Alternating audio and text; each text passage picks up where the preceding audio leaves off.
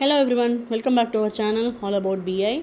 Uh, in this session, I'm going to take you through schema drift and possible use cases. Okay, you all might be uh, knowing the basics of schema drift. Today, we are going to see with all possible use cases of schema drift in data factory right so what we are trying to cover is schema drift right so what is schema basically schema is synonymous to structure structure of a file structure of a table structure of a data store okay so uh, when there is a situation like our uh, mm, uh, data store will keep changing its structure from time to time.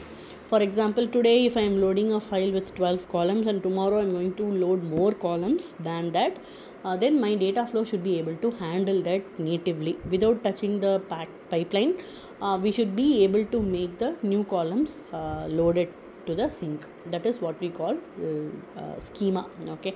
Schema drift is nothing but any change happening to the uh, structure of the uh, file that we have already set up in the data flow. For example today i'm having a data flow which points to a, a csv file with 12 columns. And tomorrow if my um, source file brings more columns my data flow should be able to uh, manage those additional columns natively without changes to the pipeline right? To the source to the sink to the in between transformations if any it should be able to be uh, handled natively by itself okay? That is uh, what we call schema drift. Uh, data flow provides this facility with uh, uh, click of a property right? So there are various use cases that i have prepared. So first two use cases uh, talk about importing schema of the underlying source file and then enabling and disabling the schema drift property right? So first two options relate to importing schema or projection of the underlying file. And second uh, uh, last two proper last two use cases talk about without uh, importing schema. Okay so we will go through one by one so first is we'll import schema and then we will enable drift. So what it will uh, how it will work is while we are importing schema in our example initially there will be 12 columns okay? So when we enable schema drift what will happen in future if there are more columns coming up means all the new columns will be uh, loaded to the sink uh, automatically okay? Uh, here we should note few things all right so the sink in our case is going to be an azure sql table which we will create automatically in uh, runtime okay? Initially when we load 12 columns uh, table also will be created with 12 columns right? So how, however my source file is my sink will be matched with the source file and it will be created on the fly. So this is during first run. So we will uh, do couple of demos here. In the run one okay table will not be there in the sink it has to be dynamically created with 12 columns right? On the second run what we will do we will be adding more columns. And then we will see how our data flow is going to work uh, even if we haven't uh, imported the changes of schema. Okay for example uh, during run one number of columns in my source would be mm, telling 12 okay? And in my second run my file would have brought extra columns but my data flow will still say 12 columns only. Because we are not going to touch the data flow. On the other hand what we are going to do we are going to simply add uh, columns in the sink table okay? So in run to add or alter table to hold values for additional columns.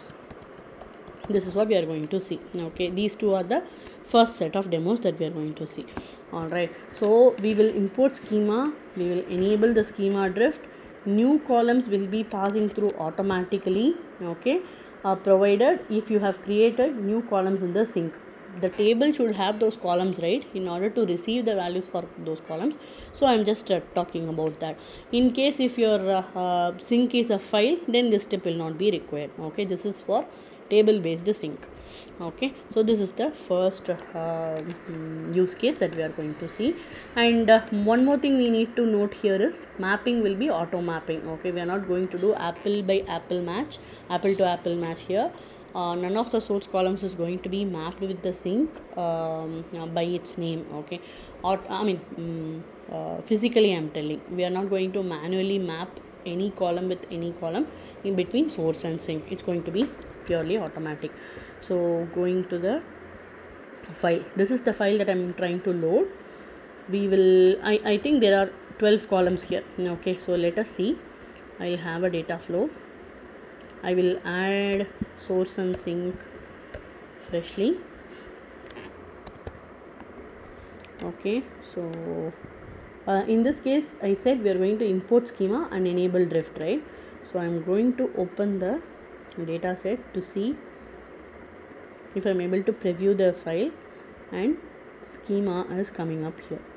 Alright schema is coming. So I'll go back to the data flow and I'll uh, just click on the settings and then we'll make sure allow schema drift is enabled. By default it will be enabled. Unless and until you are going to disable it it will be uh, by default enabled. Okay. So this is case 1 importing schema and enabling drift. If you are importing schema you have the option to disable this option okay?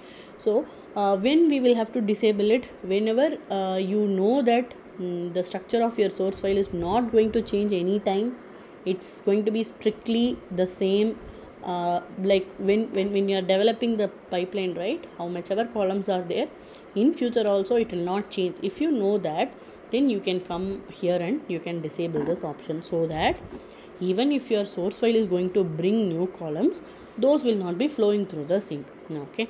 So that is uh, one heads up. So i'm just closing this guy and then adding a sink. Once I add a sink uh, number of columns will get refreshed to 12 here.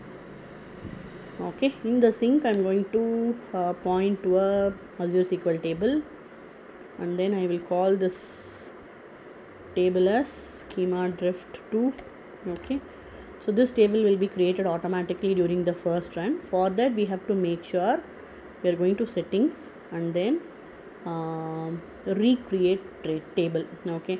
If there is no table by the name that we are mentioning in the data set it will be created. Uh, if it is already there it will recreate okay? In our case let it create for the first time. And during the second demo i will mark it to none. I will change the option to none okay? Because i don't want to keep recreating the table but in the first run i just want to create it automatically. So i'm just create selecting this option and then I'm closing this. So if I am running my pipeline now it will be loading all the four uh, records to the table nicely. Okay so I'm just uh, debugging.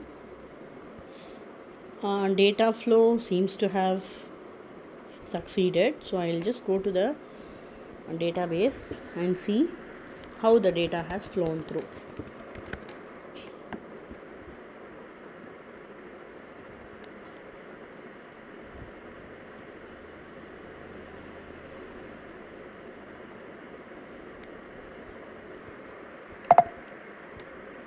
I'm just retyping the password.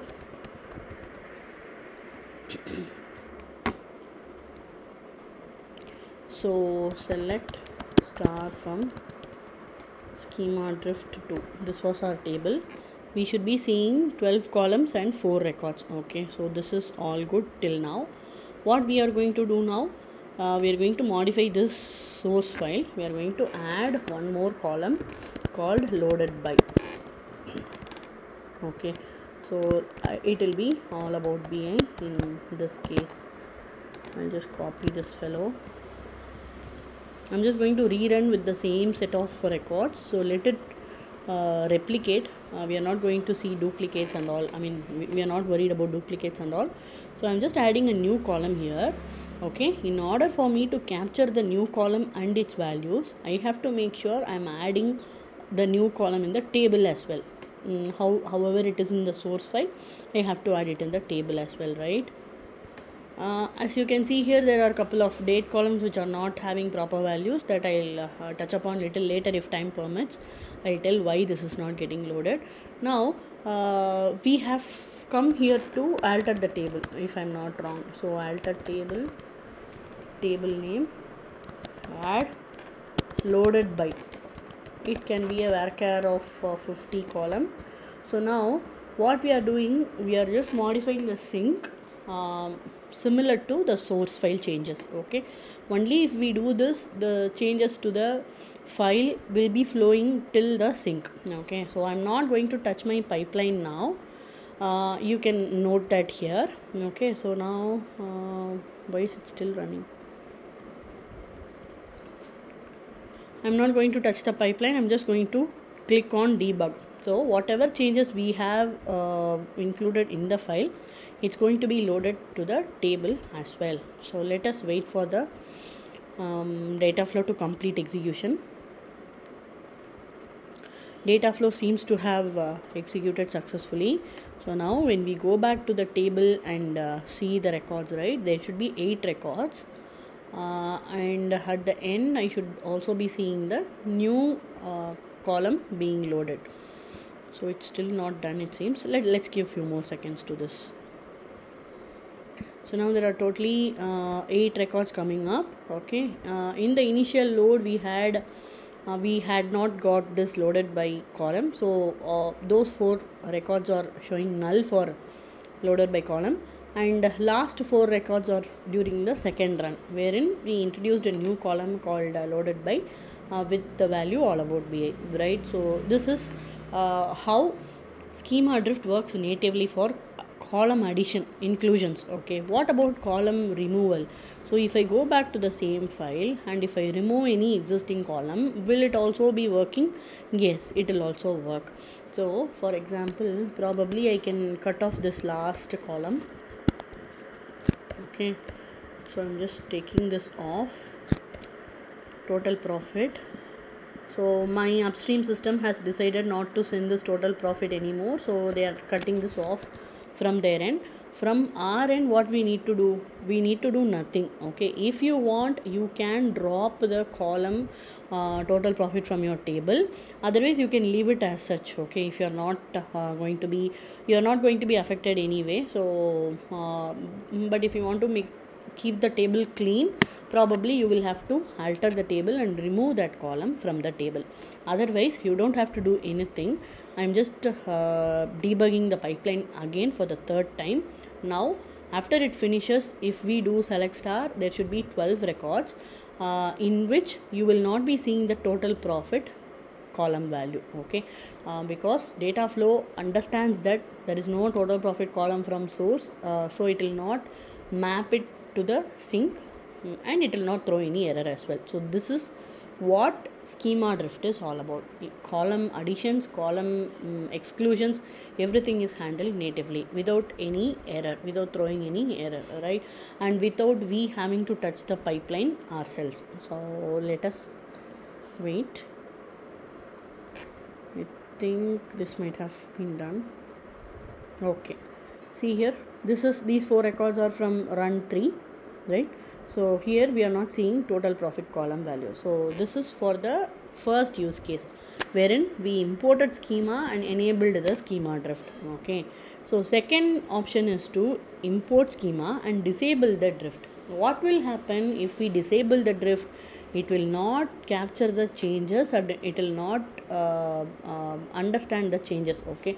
It will only work for the columns that we have uh, used while design if you have uh, set up your data flow for 12 columns it will keep on working for those 12 columns only okay? Uh, even if you remove the pipeline is not going to throw any error okay? For example just like how we remove total profit column right? If we remove uh, some other column um, while disabling drift it is not going to throw any error. Pipeline will still succeed. So what do i mean by that is i'm going to the data flow and then i'm disabling the drift uh, I will not allow schema drift in the source as well as sink. Okay I will disable this. And um, now my pipeline is mm, uh, built for 12 columns right? So I'll go to my um,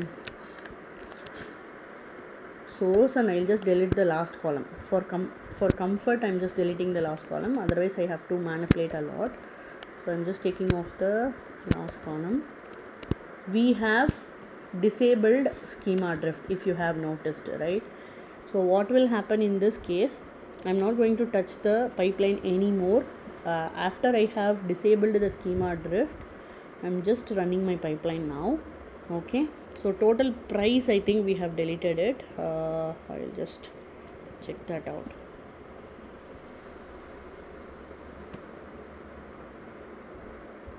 Total cost. Total cost column is what we removed now from the uh, source file okay? And we disabled the schema drift right? Let us see what happens.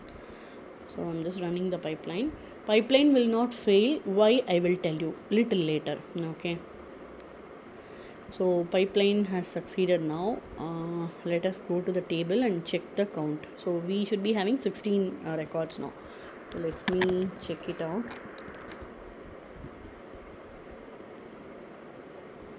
so 16 uh, so I'll just have a look at the column values. Just that it will not have total cost column value for the last four set of records. See here?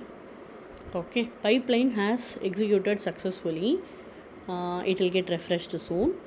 Even though we have disabled the schema drift and uh, after disabling we have made changes to the source file it is not affecting the pipe pipeline execution. Okay when it will fail is there is a property here in source wherein if you uh, click on validate schema then it will fail. Okay? When it will fail you have a schema selected during pipeline design. Okay? If there is a change happening uh, to the agreed upon structure uh, in future and if you are selecting this option then it is going to fail the pipeline okay? So if you want to explicitly make your pipeline fail in case of any changes to the structure you should be coming and selecting this. So whenever you are hovering over it, it, it is showing something in the bottom. Should not be selected with allow schema drift right so logically if you are allowing schema drift we cannot validate the schema with, uh, that we agreed upon during design time. So that is what they are saying here. So case number 2 is also done now so we are importing schema and then disabling drift. This is not going to capture the changes to any new additional columns but for any column exclusion it is not going to fail either okay? That is what i wanted to cover in this use case. So use case 3 and 4 they are quite simple. Uh, we are not going to import schema in the sense uh, we are not going to import projection in the source as well as in the sink and then we are going to enable drift this will work the same way like this except that we don't know the schema in advance okay? If you have to implement something related to or something specific to column names then this option will not be uh, helpful. So not much changes here. Anyway we are uh, uh, just going to do auto mapping right? Even if it is the case 1 or case 2 or case 3 everywhere it is auto mapping okay um, auto mapping you know as long as uh, source and sink columns are of the same name then mapping is going to work uh, like a charm right? So mm, uh, there is nothing much to cover here. If you understand the option or use case one then it is as same as that. Option 4 is quite interesting.